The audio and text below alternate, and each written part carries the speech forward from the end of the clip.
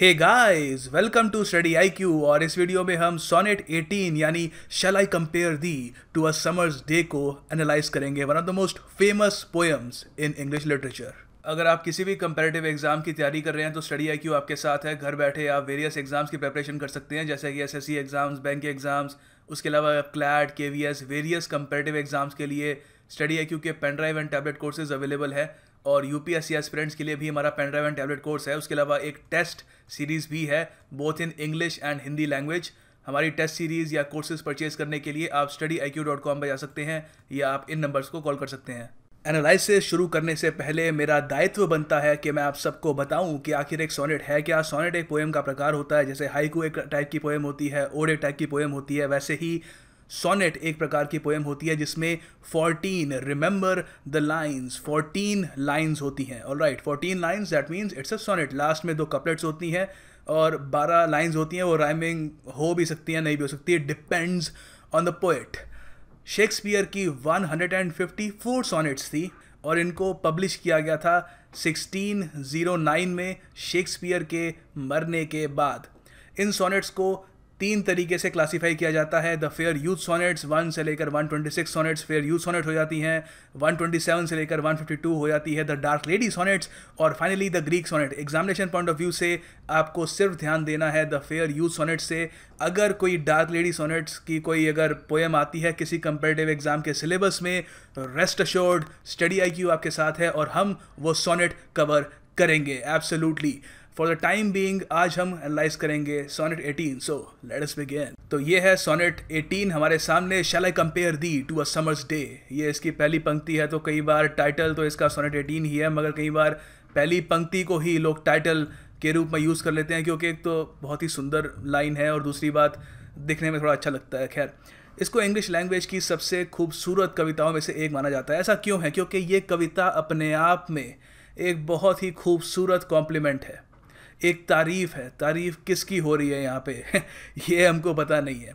क्योंकि देखो sonnet one से लेकर sonnet one hundred and twenty six तक शेक्सपियर अपने यंग नौजवान हैंडसम दोस्त को कह रहे होते हैं कि प्रोक्रिएट कितना प्रोक्रिएट करना कितना इंपॉर्टेंट है ऑफ़ स्प्रिंग्स पैदा करना कितना इंपॉर्टेंट है और सब के बारे में दोनों वार्तालाप करते हैं। जो यंग नौजवान है, वो भी शेक्सपियर को वापस रिप्लाई करता है और वार्तालाप चलती रहती है। मगर सोनेट 18 में हमको प्रॉपर पता नहीं है कि यहाँ पर शेक्सपियर किसी लेडी के बारे में बात कर रहे हैं या उस हैंडसम नौजवान के बारे में बात कर रहे हैं।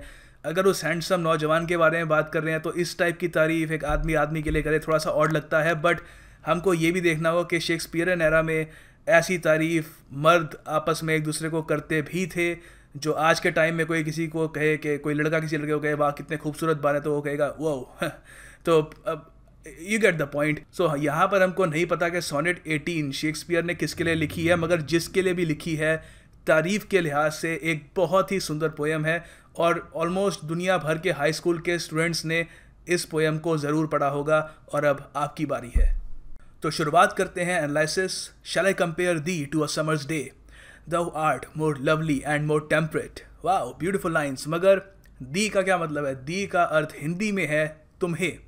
शैल आई कंपेयर दी क्या मैं तुम्हें कंपेयर करूँ? गर्मी के एक दिन से अब हम लोग इंडियंस हैं, मैं तो दिल्ली से हूँ। तो हमारे यहाँ कोई किसी को कहे कि तुम तुम तो एक गर्मी के दिन जैसे हो। तो उसका मतलब ख़राब ही हुआ कि बहुत गुस्से आदमी हो और बहुत शॉर्ट टेम्पर्ड हो। मगर हमको ये देखना होगा कि विलियम शेक्सपियर दिल्ली के नहीं थे, वो इंग्लैंड के थे।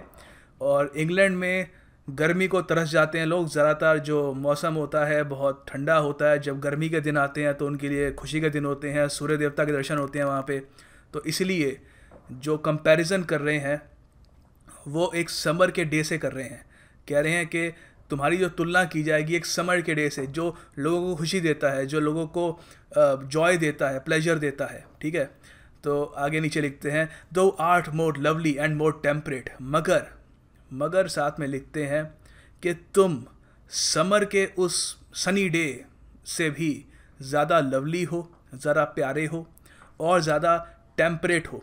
अब टेम्परेट का यहाँ पे मतलब है कि इवनली टेम्पर्ड हो मतलब कि काफ़ी हद तक बैलेंस्ड हो और इसका मतलब बेसिकली ये होता है कोई ऐसा आदमी जो अच्छे मूड में रहता हो, जिसके आसपास लोगों को रहना अच्छा रहना अच्छा लगता हो, जिसकी कंपनी लोग पसंद करते हो जो बहुत ही जल्दी किसी चीज़ से इन्फ्लुएंस ना हो जाता हो, ठीक है? तो बेसिकली तारीफ़ कर रहे हैं। उसकी और कह रहे हैं कि जो उनका बिलवर्ड है शेक्सपियर का जो बिलवर्ड है, वो एक समर के दिन से भी ज़्यादा खूबसूरत है। तो अब तक हम देख सकते हैं एक तरीके से एक सीक्रेट प्राइवेट लव लेटर जैसा है ये, जिसमें तारीफ़ें कर रहे हैं शेक्सपियर अपने बिलवर्ड की। और आगे शेक्सपियर लिखते हैं rough winds do shake the darling buds of May and summer's lease hath all too short a date अब इसका मतलब क्या है? यहाँ पर अब क्या है कि एक बार जब उन्होंने तुलना करनी शुरू करी, एक समर के दिन की अपने बिलवेड अपने प्रिय के साथ तो अब वो समर में समर के मौसम में समर के सीज़न में नुस्ख निकालने में लग गए हैं। तो यहाँ पर लिखते हैं कि जो रफ़ विंड्स होती हैं गर्मी की, उसको रफ़ कहेंगे, बड़ी तेज़ सी होती है, वो काफ़ी बार जो बर्ड्स होते हैं फ्लावर के जो, आपको पता है स्प्रिंग के बाद फ्लावर के जो नए बर्ड्स होते हैं, नए फ्लावर जो ग्रो कर रहे होते हैं, उनको उड़ा के ले जाती है, उनको ग्रो नहीं होने देती। तो एक तरीके से जो नुस्ख है, उसके बारे में बात कर रहे हैं, उसको हाईलाइट कर रहे हैं कि समर में ये कमी है और साथ में ये भी लिखते हैं कि summer's lease hath all too short a date और यहाँ पे ये भी लिखा है कि समर का जो काल होता है जितने टाइम तक समर रहेगी, वो बहुत छोटा होता है। अब आगे ये याद रखना, ये जो पॉइंट है ना, काफ़ी इंपॉर्टेंट है, क्योंकि यहाँ पे लिख रहे हैं कि समर तो लीज पे आती है। लीज पे आप कोई चीज़ लेते हो तो एक ना एक दिन आपको उसको वापस करना होता है। ठीक है? लीज पे लोग कार लेते हैं, ज़मीन लेते हैं, वहाँ पे बिज़नेस करते हैं और उसके जो लीज़ के कुछ पैसे होते हैं वो देते रहते हैं और फिर एक टाइम आता है, दस साल बाद, पंद्रह साल बाद जब लीज़ ख़त्म होती है, वो चीज़ वापस देनी होती है। तो समर एक दिन वापस जाती है। It is fated to end उसका अंत होना ही है। ये लाइन याद रखना। इसी लाइन से आगे जाके जो शेक्सपियर का जो प्रिय है, उसकी तुलना करेंगे। अब जब विलियम शेक्सपियर समर सीज़न के नुस्ख निकालने में अब शुरू हो गए हैं, उसको निकालना शुरू कर दिया उन्होंने तो सीधी सी बात है, सूर्य की बात तो होगी ही होगी। और सूर्य को यहाँ पर विलियम शेक्सपियर कहते हैं sometimes too hot the eye of the heaven shines eye of the heaven यहाँ पे क्या है? ये है सूर्य देवता, उनको कहा है, स्वर्ग की जो आँख होती है कभी कभी बहुत ज़्यादा गर्म हो जाती है, बहुत ज़्यादा ही चमकती है। और आगे यहाँ पे लिखा हुआ है and often is his gold complexion dimmed और जो गोल्ड कम्प्लेक्शन होता है, सूर्य की भी तारीफ़ की जा रही है यहाँ पर, मगर ये लिखा है कि उस कमी है कहीं ना कभी। कभी कुछ ज़्यादा गर्म हो जाता है, ज़्यादा ही शाइन कर रहा होता है, और जो गोल्ड कम्प्लेक्शन होता है सूर्य सूर्य का, वो कभी कभी डिम हो जाता है। मतलब कि उसको हम देख नहीं पाते, शायद वो क्लाउड से छुप जाता है या कुछ और कारणों की वजह से वो थोड़ा डिम हो जाता है। जिस तरीके से उसको चमकना चाहिए था, उस तरीके से नहीं चमक रहा होता। और आगे विलियम शेक्सपियर लिखते हैं and every fair from fair sometime declines by chance और नेचर्स चेंजिंग कोर्स अनट्रिम्ड यहाँ पे शेक्सपियर थोड़े और फिलोसॉफिकल हो जाते हैं, वो कहते हैं, ऐसे ही कोई भी जो खूबसूरत चीज़ हो इवेंचुअली उसकी खूबसूरती फेड होगी ही होगी। और नेचर ने जो भी उसको गिफ्ट दिया है, जो भी खूबसूरती दी है, वो इवेंचुअली चली ही जाएगी। मगर आगे यहाँ पर ये ज़रूर कहेंगे कि जो मेरा बिलवर्ड है, जो मेरा प्रिय है, उसके साथ ऐसा नहीं होगा। क्यों नहीं होगा? कैसे नहीं होगा? ज़रा देखते हैं। अब ये ध्यान देने वाली बात है यहाँ पे but thy eternal summer shall not fade मगर तुम्हारी जो इटर्नल समर है, तुम्हारी मतलब जो उनका प्रिय है, जो दिल के करीब है शेक्सपियर के, उसकी यहाँ पे बात की जा रही है nor lose possession of that fair thou owest owest यहाँ पे जो है ना, ये ओ डब्ल्यू ई वाला, ये ओ ठीक है? ओस्ट जो तुम ओ करते हो। अब समझाता हूँ सारा एक एक करके। सबसे पहली बात तो समर से अपने प्रिय को ज़्यादा बेहतरीन इसलिए बता रहे हैं क्योंकि समर एक टाइम पे आगे ख़त्म होती है, उसका एंड होता है। मगर अपने प्रिय को बताते हैं, तुम्हारी समर इटर्नल है और कभी फेड नहीं होगी। कभी तुम्हारी खूबसूरती फेड नहीं होगी। अब कैसे नहीं हुई अब आप कहोगे कि, सर, आदमी है, बूढ़ा होगा रिंकल्स पड़ेगी, बिल्कुल फेड होगी। मगर यहाँ पे शेक्सपियर भी अब जवाब देंगे आगे जाके, समझाएँगे क्यों नहीं फेड होगी, क्यों उनका जो प्रिय है, हमेशा यंग रहेगा। और सेकेंड लाइन में बहुत खूबसूरती से लिखा हुआ है nor lose possession of that fair thou owest fair मतलब खूबसूरती, ठीक है?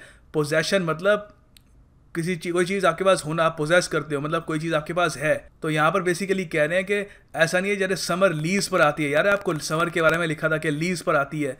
समर लीज पर आती है, मगर तुम्हारी जो खूबसूरती है, वो तुम किसी को ओ नहीं करोगे। मतलब कि वो तुम, उसकी जो पोजेशन है, वो कभी तुम खोगे नहीं। वो सिर्फ़ तुम्हारी ही है, वो लीज पर नहीं है। अब यहाँ पर इन पंक्तियों में शेक्सपियर बताना शुरू करते हैं कि जो उनका प्रिय है, वो सदा अमर क्यों रहेगा या रहेगी? तो यहाँ पर लिखना स्टार्ट करते हैं William Shakespeare not shall death brag thou wanderest from his shade कभी मौत भी तुमको अपनी शेड में नहीं लेगी। और आगे नीचे लिखते हैं when in eternal lines to time thou growest अब ये जो लाइन्स की बात कर रहे हैं, ये पोयम की पंक्ति के बारे में बात कर रहे हैं तो कह रहे हैं, जैसे जैसे लोग मेरी पोयम पढ़ेंगे बेसिकली तुम मेरी पोयम में ज़िंदा रहोगे। तुम्हारी जो खूबसूरती है, जो तुम्हारी वंडरफुलनेस है, जो तुम्हारी लवलीनेस है, वो सब कहाँ ज़िंदा रहेगी? मेरी पोयम में ज़िंदा रहेगी और जैसे जैसे मेरी लाइंस इटर्नल होती जाएगी, तुम भी ग्रो करोगे और ग्रो मतलब ऐसा नहीं कि बड़े होते जाओगे मतलब कि तुम्हारी खूबसूरती भी लोगों के जहन में ग्रो करती रहेगी।